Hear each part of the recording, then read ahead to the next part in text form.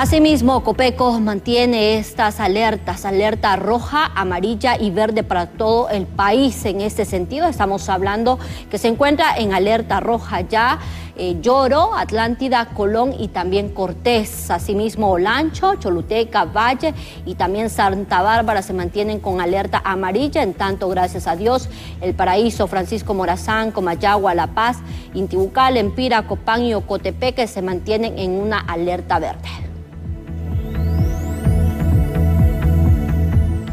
Las autoridades también de Copeco mantienen un análisis y además el monitoreo constante para todas las personas que se encuentran en zonas vulnerables, donde han reportado ya que las personas afectadas ascienden a 250.774, los damnificados son 84.486, personas evacuadas 16.094, albergadas 10.479, asimismo ascienden a 6 las personas muertas en el país, lesionados 4, heridos 5, desaparecidos 1, han sido rescatadas 7.685 personas, además las viviendas dañadas suman hasta este momento 4.760 y destruidas 430.